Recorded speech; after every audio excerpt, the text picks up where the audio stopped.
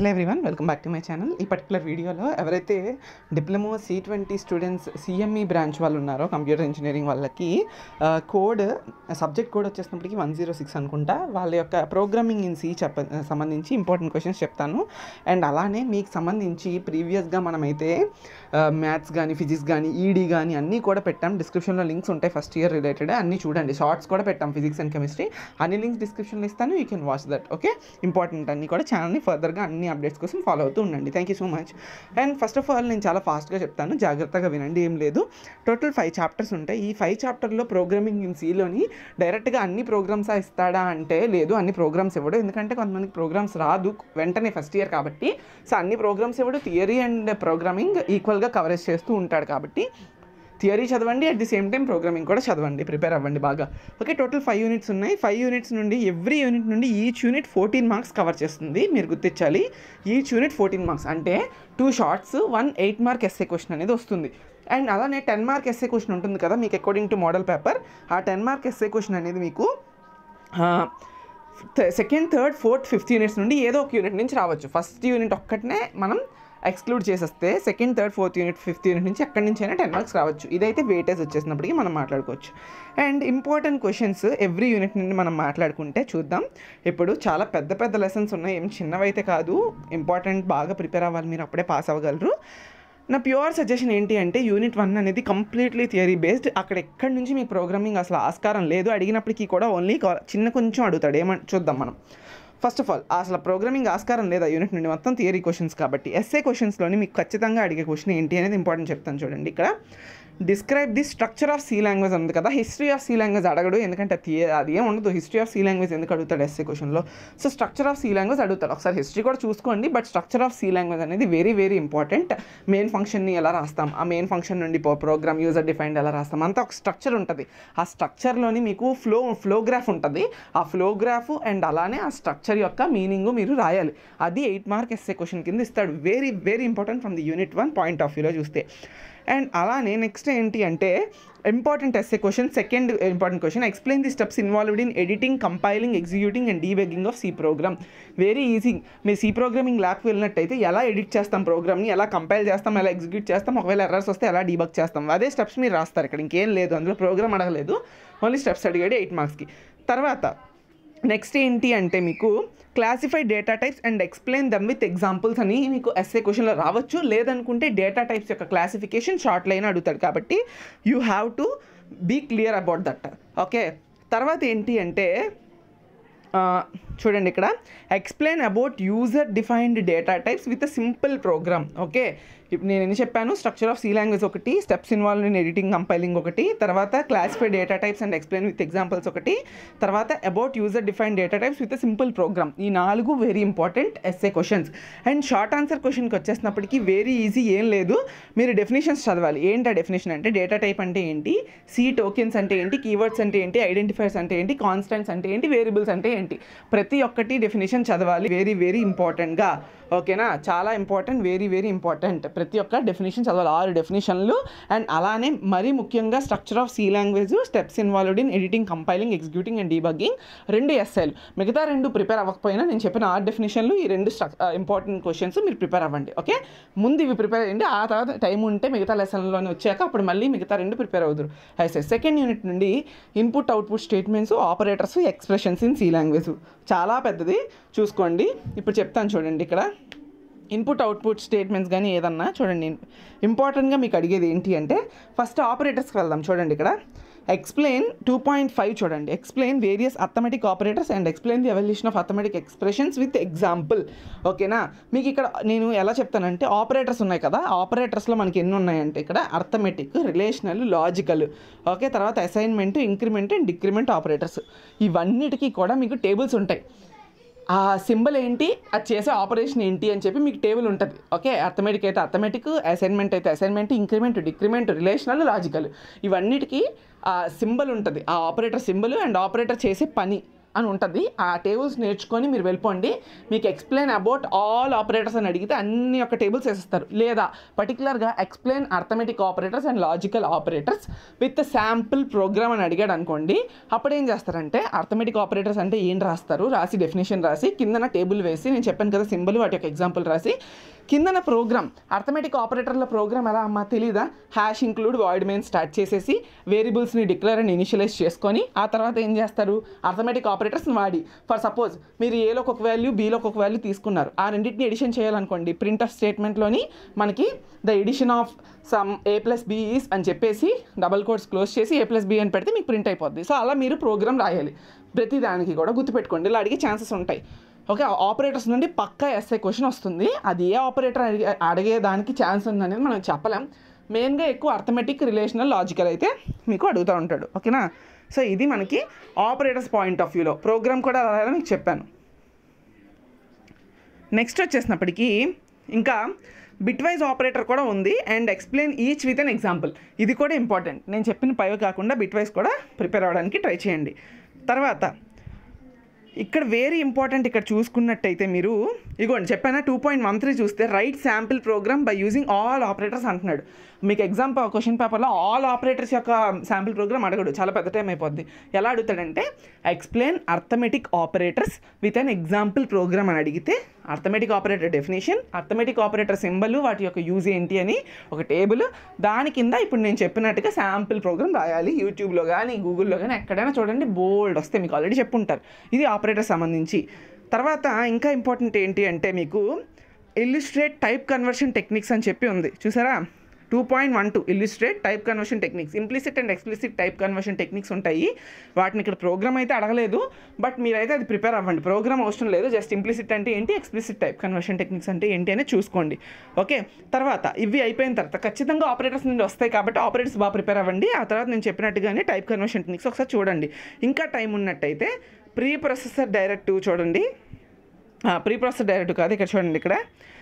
Formatted input using scanf and write sample program using it formatted output using printf and write sample program using it చాలామంది ఏం చేస్తారంటే మీకు input output ఫంక్షన్స్లో scanf printf కోసం మీకు eight marks అడగడేమో అనుకుంటాడు but తప్పు. ఖచ్చితంగా ఎయిట్ మార్క్స్ కూడా అడుగుతాడు. ఎలా అంటే explain about input and output statements with an example program అని అడుగుతాడు అప్పుడు ఏం చేస్తారు? ఇన్పుట్ స్టేట్మెంట్ కింద స్కానఫ్ అవుట్పుట్ స్టేట్మెంట్ కింద ప్రింటఫ్ రాసి ఆ స్కానఫ్ ప్రింటఫ్ ఏదైనా ప్రోగ్రామ్లో యూస్ చేసేటట్టు ప్రోగ్రామ్ రాయాలి. ఇవి important questions SS from unit two okay ఇలా చెప్తేనే మీకు బాగా అర్థమవుతుంది. అండ్ మీకు ఏమంటారు దాన్ని? షార్ట్ ఆన్సర్ క్వశ్చన్స్ కింద మీకు నేను ఆల్రెడీ చెప్పినట్టుగానే difference between unary and binary operators చాలాసార్లు అడిగాడు.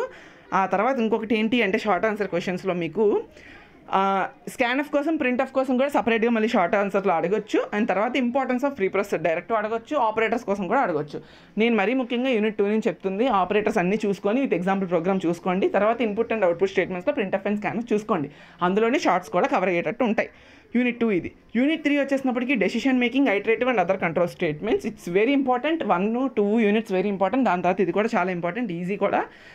మీకు యూనిట్ టూ యూనిట్ త్రీ నుండి అడిగే విధానం ఎలా ఉంటుందంటే iterative okay iterative and decision making చూసారా మీకు ఇక్కడ? ఇఫ్ ఇఫ్ ఎల్స్ తర్వాత ఇఫ్ ఎల్స్ ఇఫ్ తర్వాత మీకు ఇక్కడే ఉంది చూడండి. ఇఫ్ అండ్ ఇఫెల్స్ ఉంది నెస్ట్ డిఫెల్స్ ఉంది ఇఫెల్స్ ఇఫ్ ల్యాడర్ ఉంది స్విచ్ కేస్ ఉంది. Okay three point two one two two two three two four ఉన్నాయి కదా? ఆ నాలుగు ఉన్నాయి కదా? అవన్నీ కూడా మీకు డెసిషన్ మేకింగ్ అంటారు. మీకు ఎలా అడుగుతాడంటే ఫర్ సపోజ్ లైక్ క్వశ్చన్ పేపర్లో explain decision making statements with example program అంటాడు. అప్పుడు మీకు డెసిషన్ మేకింగ్లో ఎన్ని ఉన్నాయి? ఇఫ్ ఉంది ఇఫ్ ఎల్స్ ఉంది నెస్టెడ్ ఇఫ్ ఎల్స్ ఉంది ఇఫ్ ఎల్స్ ఇఫ్ ఉంది switch case switch switch case statement ఉంది. మరి ఎనిమిది మార్కులకి ఇన్ని రాసి విత్ ఎగ్జాంపుల్ ప్రోగ్రామ్ రాయాలంటే అవసరం లేదు. వాడు ఎనిమిది మార్కులకి అడుగుతాడు కాబట్టి ఎక్స్ప్లెయిన్ డెసిషన్ మేకింగ్ స్టేట్మెంట్స్ కాబట్టి మూడు రాయండి. ఇఫ్ తీసుకోండి ఇఫెస్ తీసుకోండి నెక్స్ట్ ఇఫెస్ తీసుకోండి. ఇంకా టైం ఉంటే స్విచ్ తీసుకోండి. వాటికి డెఫినేషన్ రాసి ఆ ఫ్లోగ్రాఫ్ రాసి సింటాక్స్ రాసి ప్రోగ్రామ్ రాయండి. ఏదో ఒక ప్రోగ్రామ్. వాడేం మీకు స్పెసిఫై చేయడు. ఇదే రాయాలని ప్రోగ్రామ్. ప్రింట్ ప్రైమ్ నెంబర్స్ లేదా print one to ten numbers. Sorry print one to ten numbers అంటే లూపింగ్స్లోకి తీసుకోండి అది. ఇక్కడ తీసుకోకండి. అలాంటివన్నీ ఏదో ఒకటి రాయండి. లీప్ ఇయరా కాదా? ఆడ్ నెంబరా కాదా? ఈవెన్ నెంబరా కాదా? అవన్నీ చెక్ చేస్తే ఏదో ప్రోగ్రామ్ మీకు నచ్చింది రాయండి. ఈ డెసిషన్ మేకింగ్లో ఎయిట్ మార్క్స్ అడుగుతాడు. ఓకే. ఒకవేళ అలా కాకుండా డైరెక్ట్గా ఇంపార్టెంట్గా అడిగేది ఏంటి? డైరెక్ట్గా ఇంపార్టెంట్గా అడిగేది ఏంటంటే explain switch case statement with syntax and simple program okay? Switch case statement చాలా ఇంపార్టెంట్. విత్ సింపుల్ ప్రోగ్రామ్ అడుగుతాడు. ఆ సింపుల్ ప్రోగ్రామ్ ఏదైనా అయి ఉండొచ్చు. మీకు ఒక ఐదుగురు సబ్జెక్ట్ మార్కులు తీసుకొని యాడ్ చేసుకొని స్విచ్ వన్ అయితే ఎలాగా? అంటే యావరేజ్ ఎంత నుండి ఎంత ఉంటే ఎలా రావాలి? అని చెప్పి ప్రోగ్రామ్స్ ఉంటాయి కదా అవి తీసుకొని ప్రిపేర్ అవ్వండి. తర్వాత అవి అయిపోయిన తర్వాత ఏం చేయాలి అంటే లూపింగ్కి వెళ్తాడు. లూపింగ్కి వెళ్ళినప్పుడు explain iterative statements with example program అంటాడు. లూపింగ్లో ఏమున్నాయి మనకి? While loop do while loop for loop ఈ మూడు సింటాక్స్లు ఆ ఫ్లోగ్రాఫ్లు విత్ ఎగ్జాంపుల్ ప్రోగ్రామ్స్. ప్రతి దాంట్లోని print numbers from one to ten తీసుకున్న ఎగ్జాంపుల్ రాయొచ్చు. ఒకే ఎగ్జాంపుల్ ప్రతి ప్రోగ్రామ్ ఉంటుంది కదా. డూ వైల్లోని వన్ టు టెన్ ప్రింట్ చేయొచ్చు. వైల్లోనే ప్రింట్ చేయొచ్చు. ఫర్ లూప్లోనే ప్రింట్ చేయొచ్చు. వన్ టు టెన్ నెంబర్స్ అనే ప్రోగ్రామ్ సిమిలర్గా మీరు గుర్తుపెట్టుకొని ఫర్ లూప్కి వైల్ లూప్కి డూ వైల్ లూప్కి రాయండి. అంతే. అవి టెన్ మార్క్స్ ఎయిట్ మార్క్స్ అడుగుతాడు. ఇదే యూనిట్ నుండి టెన్ మార్క్ క్వశ్చన్ కూడా సేమ్ అదే క్వశ్చన్ అడగొచ్చేమో. హౌ కెన్ వి ప్రెడిక్ట్ ఓకేనా ఇది గుర్తుపెట్టుకోండి బాగా. షార్ట్ ఆన్సర్ క్వశ్చన్స్ అలా కాకుండా ఈ యూనిట్ త్రీ నుండి మీకు లూపింగ్స్లో కానీ లేకపోతే ఇంకేదైనా కానీ మీకు అడిగడానికి ఛాన్స్ ఏంటి అంటే ప్రోగ్రామింగ్ అడగొచ్చు. లైక్ ఇంపార్టెంట్ ప్రోగ్రామింగ్ మీకు ఆ క్వశ్చన్స్ ఇవ్వకుండా థియరీ క్వశ్చన్స్ ఇవ్వకుండా ప్రోగ్రామింగ్ వాడే స్పెసిఫై చేయొచ్చు. ఏంటి అంటే ఫ్యాక్టోరియల్ ప్రింట్ చేయమని అడగొచ్చు. ఫ్యాక్టోరియల్ ఆఫ్ ఎ నెంబర్ తర్వాత Armstrong numbers Fibonacci series okay ఇలా కూడా అడగొచ్చు. ప్రోగ్రామింగ్ పార్ట్ వెళ్ళాలనుకున్న వాళ్ళకి చెప్తున్నాను. ఇంపార్టెంట్గా factorial Fibonacci series Armstrong number ఇవి ఎక్కువసార్లు అడుగుతున్న ప్రోగ్రామింగ్ క్వశ్చన్స్ ఓకే షార్ట్స్కి వచ్చేసినప్పటికీ మూడు లూప్ స్టేట్మెంట్స్కి కంపారిజన్ టేబుల్ అర్థమైందా? తర్వాత గో టు అంటే ఏంటి? బ్రేక్ అంటే ఏంటి? కంటిన్యూ స్టేట్మెంట్స్ అంటే ఏంటి? సింటాక్స్ ఉంటాయి. చిన్న చిన్నగా. అవి రాయమని అడుగుతాడు. ఓకేనా? తర్వాత బ్రేక్కి కంటిన్యూకి డిఫరెన్సెస్ అడుగుతాడు. ఇవి షార్ట్ ఆన్సర్ క్వశ్చన్స్ పర్టికులర్గా నేను చెప్తున్నాను ఎలా చదవాలి అని. ఓకేనా? ఈ వీడియో టైం పెరగొచ్చు బట్ మీకు ఇది చాలా ఇంపార్టెంట్ ఎందుకంటే అంత స్కోర్ చేయగలరు నేను చెప్పే మాటలు వింటే. మీకు అర్థమవుతుంది ఏం చెప్తున్నాను ఎగ్జాక్ట్గా అని తర్వాత unit four array strings structures and యూనియన్స్కి సంబంధించి మీకు ఇక్కడ ఒక యూనిట్లో ఎన్ని ఉన్నాయి యారే స్ట్రచ్ చేయాలి స్ట్రింగ్స్ స్ట్రచ్ చేయాలి స్ట్రక్చర్ స్ట్రచ్ చేయాలి యూనియన్ స్ట్రచ్ చేయాలి. సో తక్కువ టైం ఉన్న వాళ్ళు అన్నీ ప్రిపేర్ అవ్వకండి. నా మాట విని శుభ్రంగా యారేస్కి వెళ్ళండి అండ్ అలానే స్ట్రక్చర్స్కి వెళ్ళండి. ఈ రెండు ప్రిపేర్ అవ్వండి. నేను ఇప్పుడు ఇంపార్టెన్స్ యారేస్ అండ్ స్ట్రక్చర్స్ నుండి చెప్తాను. స్ట్రింగ్స్ యూనియన్స్ పక్కన పెట్టండి. ఎందుకంటే అన్నీ ప్రిపేర్ అవ్వలేము కదా. ఎందుకు చెప్పినా వేస్ట్ కదా. సో యారేస్కి వచ్చేసినప్పటికీ మీకు ఏం అడుగుతాడంటే వాడు గనక ఎగ్జాంపుల్ ఎగ్జామ్లో చిన్నగా ఇవ్వాలనుకుంటే ఏం చేస్తాడంటే define array how to declare and initialize one D array with example program ఇది బాగా గుర్తుపెట్టుకోండి ఓకేనా? రెండు క్వశ్చన్లు వస్తాయి ఇదే ఫార్మాట్లో define array how to declare and initialize one D array with example program ఇది కానీ లేదా define array explain how to initialize and declare two dimensional array with example program ఇదే క్వశ్చన్ ఎగ్జాక్ట్గా గూగుల్లో కొట్టండి మీకు బోల్డ్ మ్యాటర్ దొరుకుతాయి. ఈ రెండు క్వశ్చన్ బాగా గుర్తుపెట్టుకోండి. తర్వాత తర్వాత ఏంటి అంటే మీకు ఇక్కడ మీకు ప్రోగ్రామ్స్ ఉన్నాయి. Matrix addition matrix multiplication. మరి మీరు ప్రిపేర్ అవ్వగలను అంటే ప్రోగ్రామ్స్ మాత్రం మ్యాట్రిక్స్ ఎడిషన్ మల్టిప్లికేషన్ రెండిట్లో ఏదో ప్రోగ్రామ్ అడిగే ఛాన్స్ ఉంటుంది స్కోప్. కాబట్టి ప్రిపేర్ అవ్వాలనుకున్న వాళ్ళు ప్రిపేర్ అవ్వండి. అది నేను చెప్తున్నాను. ఇవే యారేస్ కాన్సెప్ట్స్. ఇంకేమీ లేవు యారేస్లో. Very important. రెండే రెండు ఎస్ఏ క్వశ్చన్లు వస్తాయి. ఏంటంటే అయితే మ్యాట్రిక్స్ మల్టిప్లికేషన్కి సంబంధించి కానీ ఎడిషన్కి కానీ ప్రోగ్రామ్ అడుగుతాడు. మరి ముఖ్యంగా మల్టిప్లికేషన్ అడిగే ఛాన్స్ ఉంటుంది. ఎందుకంటే పెద్దది కదా. కొంచెం ట్రిక్కీగా ఉంటుంది. అండ్ అలానే అది కాకపోతే just declaration and initialization of one D array two D array చూసుకుంటే సరిపోతుందమ్మా. ఎనిమిది మార్కులు పడిపోతాయి ఆర్ఎస్ నుండి. ఓకే తర్వాత ఏంటి? స్ట్రక్చర్ స్ట్రక్చర్లో ఒకే ఒక ప్రోగ్రామ్ ఎన్నిసార్లు అడుగుతాడంటే అన్నిసార్లు ఏం తెలుసా? Define structure how to initialize structure declare structure okay and access the members of a structure ఇది very important define structure how to initialize and declare structure and how to access the members of a structure ఇది question very important structure definition రాస్తారు. ఇనిషియలైజేషన్కి and members ఉంటారు. Members అంటే structure అంటే ఏంటి? Collection of different data types కదా. వాళ్ళంతటినీ మనం ఎలా యాక్సెస్ చేసుకోవాలి మెంబర్స్ని డాట్ ఆపరేటర్ వాడి యాక్సెస్ చేస్తాం. అదంతా కూడా ఎగ్జాంపుల్ ప్రోగ్రామ్లో చెప్తాడు. స్ట్రక్చర్ ప్రోగ్రామ్లో ఆ ప్రోగ్రామ్ని మీరు ఎక్స్ప్లెయిన్ చేయాలి. ఓకే అది వెరీ ఇంపార్టెంట్ స్ట్రక్చర్స్కి పాయింట్ ఆఫ్ వ్యూలో ఆడు అలానే అడుగుతాడు ఎలా define structure and how to access the members of the structure very important గుర్తుపెట్టుకోండి. పక్కా వచ్చే క్వశ్చన్ అది. తర్వాత ఇంకోటి ఏంటి అంటే మీకు ఇంకా స్ట్రక్చర్లో వెళ్ళి అడగాలంటే explain how to find the size of structure using program example program very important that's about structures okay తర్వాత మీకు ప్రోగ్రామ్స్ ఐ మీన్ ఏమంటారు దాన్ని? Like two marks short questions three marks short క్వశ్చన్స్లోని difference between structure and union అనేది very important and అలానే ఇంకా ఏంటి అంటే important మీకు గెట్స్కి పుట్స్కి డిఫరెన్స్ ఏంటి? ఓకే గెట్స్కి పుట్స్కి డిఫరెన్స్ ఏంటి? ఇలాంటివి అడిగే ఛాన్సెస్ అయితే మీకు ఉంటాయి. ఓకేనా గుర్తుపెట్టుకొని ప్రిపేర్ అవ్వండి. అండ్ యూనిట్ ఫైవ్ పర్టికులర్గా వచ్చేసినప్పటికీ మీకు యూనిట్ ఫైవ్లో ఏముంది? User define functions pointers file management and pre processor directives okay చాలా పెద్దది ఉంది యూనిట్ అయితే మీకు ఇందులో నుంచి ఏం అనేది ఎవరు చెప్పలేము. సో ఇప్పటికే వీడియో లెంత్ కూడా పెరిగిపోయింది. సో నేనేం చెప్తానంటే మీకు ఇందులోని యూజర్ డిఫైన్ ఫంక్షన్స్ పాయింటర్స్ అయితే నేను చెప్తాను. ప్రీ ప్రాసెసర్ డైరెక్టివ్ అనేది ఒకే క్వశ్చన్ ఉంటుంది. చూడండి ఒకసారి చెప్తాను ప్రీ ప్రాసెసర్ డైరెక్టివ్స్ నుండి. ఇక్కడ ఎక్కడ ఉంది? వన్ మినిట్ చూడండి ఇక్కడ. ఇదిగోండి. Five point one zero point seven ఉంది కదా. ఎక్స్ప్లెయిన్ ప్రీ ప్రాసెసర్ డైరెక్టివ్స్ అని చెప్పి అది మీకు ఎస్ఏ క్వశ్చన్ కింద ఉంటుంది ప్రీ ప్రాసెసర్ డైరెక్టివ్స్ అందులో టైప్స్ ఉంటాయి. అవన్నీ కూడా ప్రిపేర్ అవ్వండి. మీ నోట్స్లో ఉన్నట్టయితే మాత్రం అది ఓన్లీ ప్రీ ప్రాసెసర్ డైరెక్టివ్కి సంబంధించి ఎస్ఏ క్వశ్చన్ అది కాకుండా యూజర్ డిఫైన్ ఫంక్షన్స్లోని మీకు ఏంటి అంటే ఫంక్షన్ కాల్ టెక్నిక్స్ ఉంటాయి చూడండి చెప్తాను ఇక్కడ.